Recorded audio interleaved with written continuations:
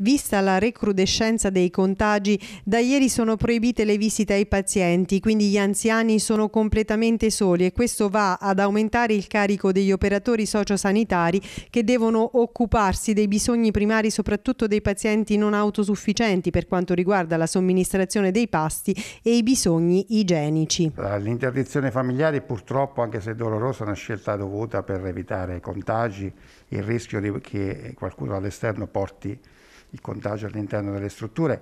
Il problema è che chiaramente non essendoci più i familiari anche per pochi, per pochi minuti al giorno, i pazienti sono sempre più, più soli. Quindi noi auspichiamo che ci sia anche personale di supporto al personale sanitario che essere, possa essere vicino al, al, al paziente anziano non autosufficiente. Purtroppo questo stiamo vedendo è difficile perché il personale manca in tutti i settori.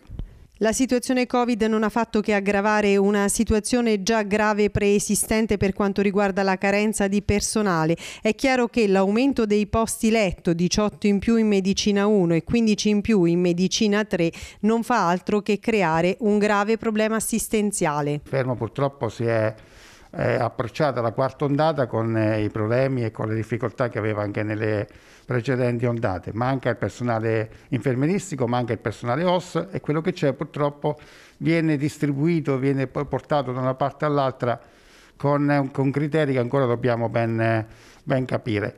Aumentano i posti letto costantemente ogni giorno, ma non aumenta il personale questo significa abbassare pericolosamente gli standard assistenziali.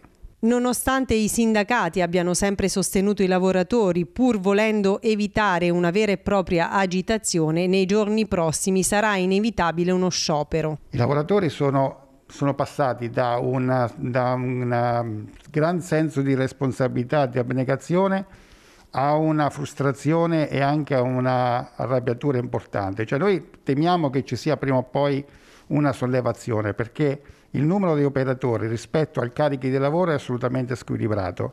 Attendiamo che arrivino con delle forme eccezionali o straordinarie infermieri OS, altrimenti noi saremmo costretti a fare delle azioni anche che porteranno un grande disagio alla popolazione. Quello che manca, secondo la CISL, secondo Donati, è proprio una cabina di regia a livello regionale. La riapertura del Covid Hospital si ritiene assolutamente necessaria, soprattutto per le gravi carenze dell'area Vasta 4. Ma l'apertura del Covid Hospital è veramente un mistero, mistero fino a un certo punto. Noi abbiamo una visione che eh, necessiterebbe l'apertura del Covid Hospital. Chiaramente non si apre anche per carenza di personale o anche per una scelta politica.